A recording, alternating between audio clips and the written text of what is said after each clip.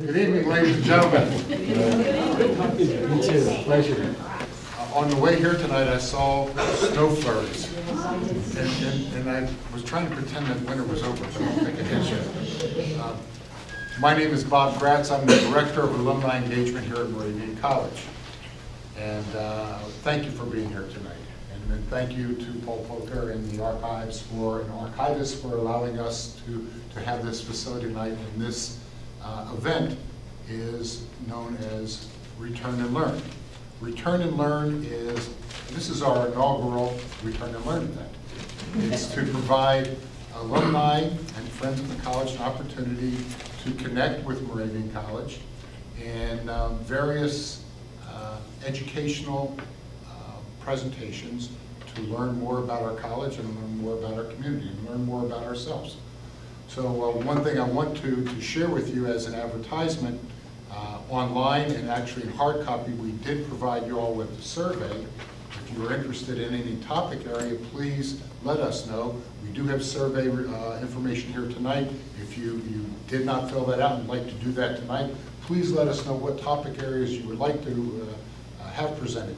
We've had such requests such as uh, investment planning, retirement planning, wine and cheese, what type of chocolate to pair with wine. Uh, I know some of you wouldn't be interested in that, uh, but uh, um, please uh, let us know what you might be interested in, and we will try to provide those opportunities for you. Uh, Again, thank you for being here. I'd like to introduce my assistant, Amanda Warner, who uh, has the task of putting up with me. And those of y'all that know me know that Amanda is going straight up. Thank you, Amanda. Uh, But now, please, Paul Peucker, archivist for Moravian. Um, uh, And, and we really appreciate Paul, and I will tell you, I, I've seen Paul numerous occasions, and I think it was a presentation you did regarding uh, at Love Feast at Founder's Day. Oh, that's right, Yes, a that's right. phenomenal presentation. And then, uh, again, I had the opportunity when Brielle did her presentation regarding this, this exhibit, and uh, uh, I was captured. And we're so happy, and thank you for inviting us here and allowing us. Uh, Paul, please. Yes. Well, I'm so glad that you are all here. I'm the archivist uh, for the Moravian Church here at the Moravian Church Archives. And we have a special relationship with the college. We are on the campus of Moravian College, but we're not the college archives. We are the archives for the Moravian Church. But because we're on the campus, there are a lot of opportunities to work together on various things. And um, Brielle is one of the great examples of the good uh, uh, relationship we have with Moravian College. So I'm very glad that you're here tonight, and this will be an opportunity for you to see the exhibit that Brielle put together, but also an uh, opportunity for you to learn a little bit about the Moravian archives.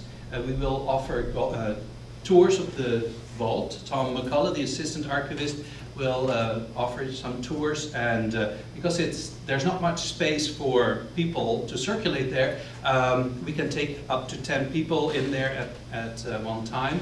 So um, make sure that you get in there and, and, and see how we store records. Um, our oldest book is from 1472 uh, that's the oldest item that we have in our collection many many years before Bethlehem was founded uh, when Bethlehem was founded in 1741. That was already an old book. And uh, really our collection uh, documents the history of the Moravian Church with the beginnings of the Moravians here in Bethlehem and then all the other places in North America where Moravians went and, and worked. And we also have records for other Morav um, Moravian churches in other countries like the, the, Virgin Islands, other islands in the Caribbean. We have records for the Moravian Church in Labrador, Nicaragua, and Honduras. And so we have a, a very um, multifaceted collection. Uh, a lot of paintings, you see here a few examples, and um, we have a large music collection. We also have a large library. We collect everything uh, relating to the Moravian Church.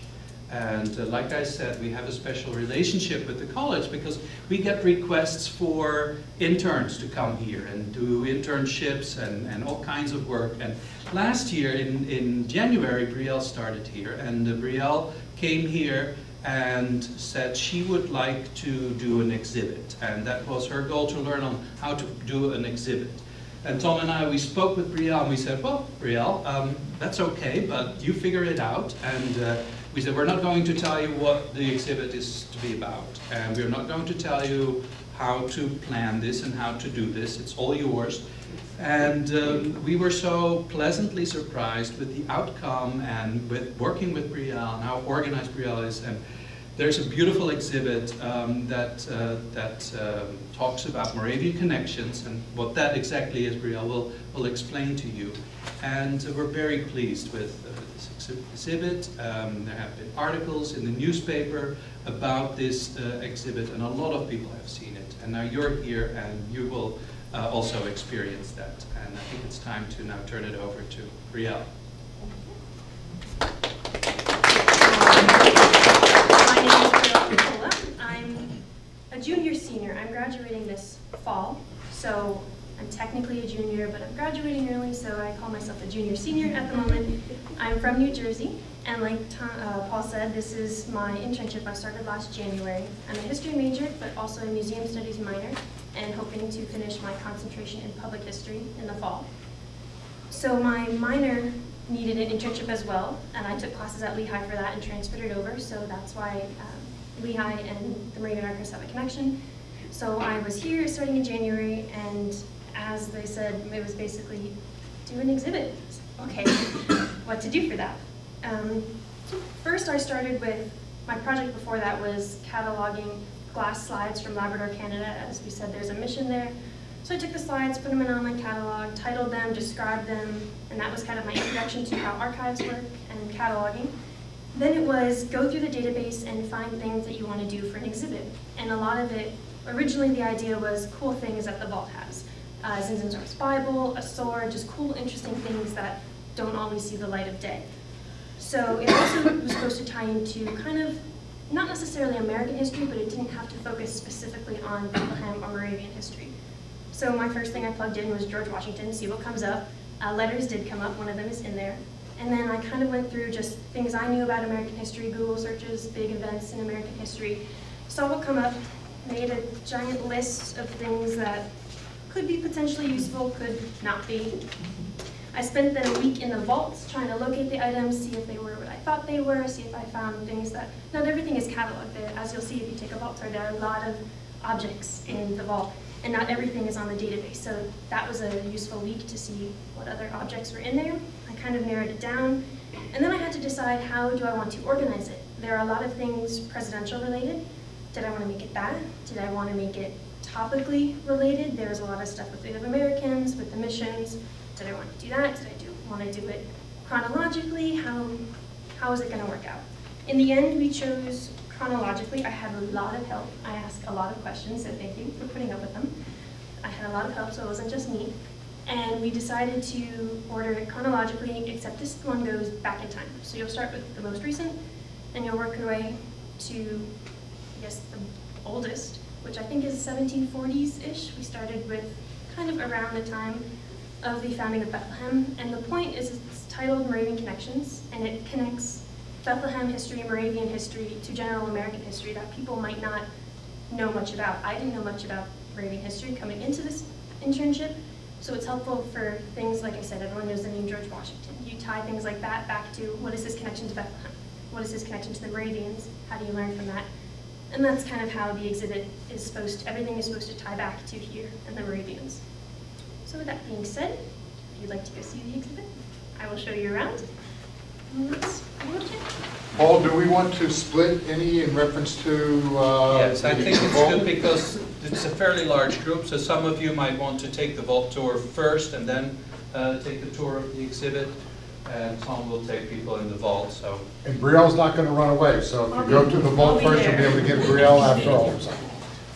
Yeah, so I'll, I'll meet with anyone over here that wants to take a look at the vault.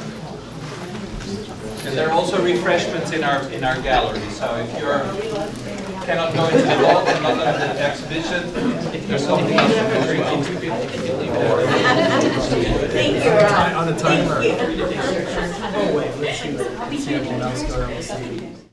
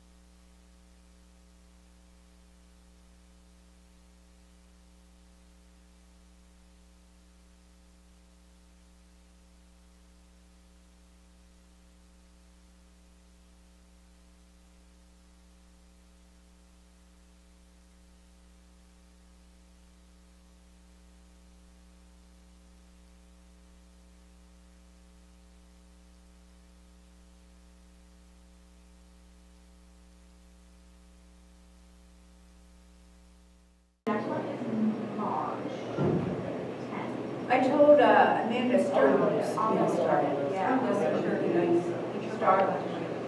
Um, it's about an hour, and people, it's really interesting. About the history of Marine Star. Yeah. Oh, wonderful. Yeah. So like October, November. That would be great. Yeah. Yeah. Here I am.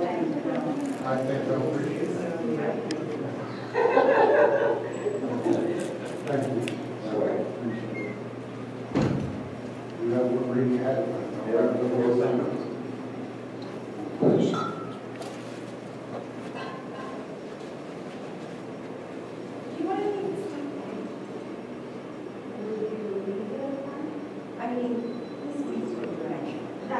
You know what I mean? So the public.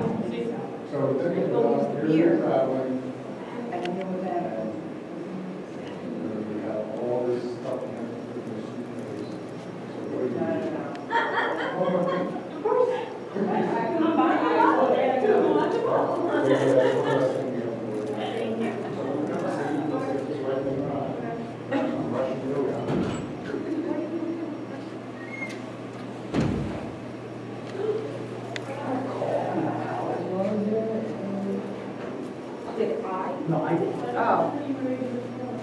I was probably drawing on. Oh.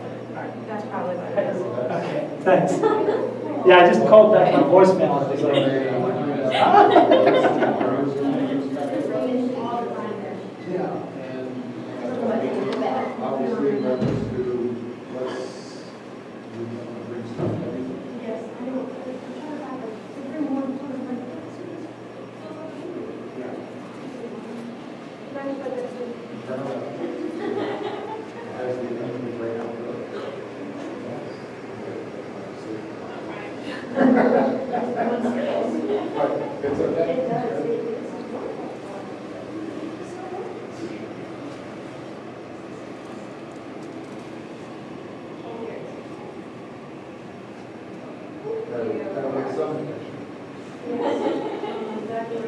Thank you.